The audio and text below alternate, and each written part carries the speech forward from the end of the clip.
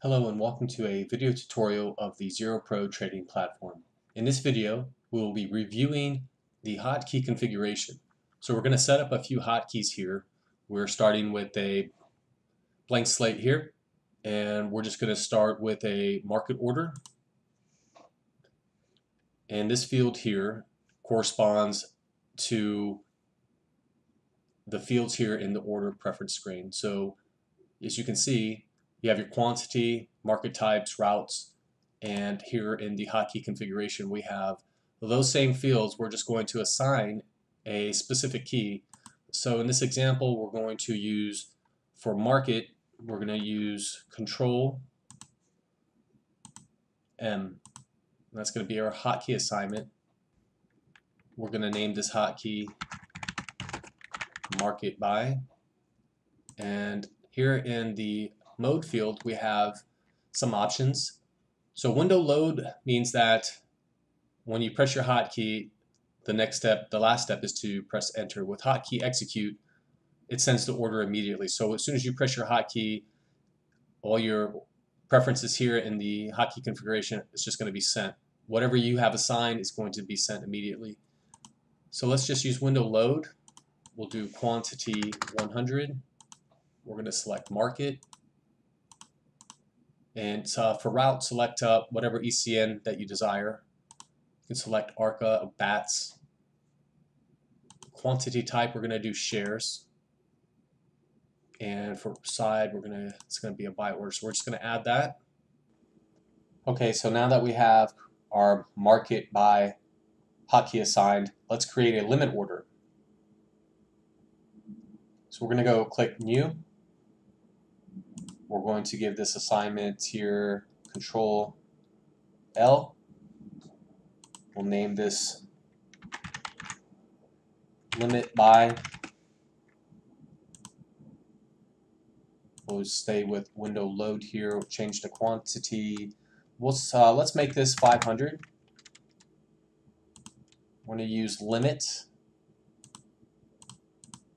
Select your route.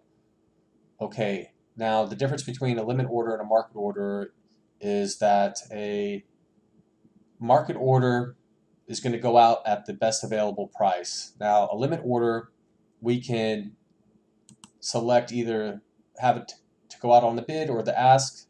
Let's just say for illustration purposes, we'll, we'll use the ask. And it's going to be a buy order, and we're going to use an offset of one cents. Right, we're going to click add.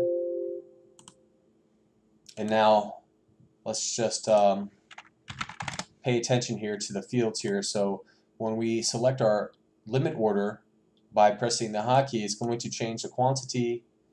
It's going to change the type to limit. So we're going to press Control L, and you can see now that we have the quantity for 500 limit order. It's going to go out with a one cent offset, meaning that the limit order is going to try to get shares if they are available 1126 or better. All right, and so now all you have to do is click enter, and now we have our position. If you want to go back and edit, for example, your limit buy, if you wanted to change the shares back to 100, or if you wanted to create another hotkey, uh, you could just simply edit this, changing the quantity and clicking edit. So now we see that our quantity was changed back to 100 for the limit order that we just created. Okay, so now that we have our two primary order types here, limit and market, uh, let's create a market sell. So we're just going to click new go up to here and assign the hotkey Control S. Okay, it's going to be market sell.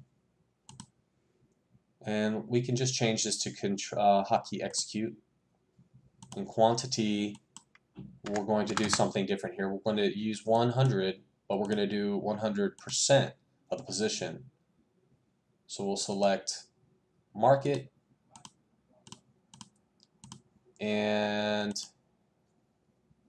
make sure that you have the correct side. This is going to be a sell order. So we'll add that.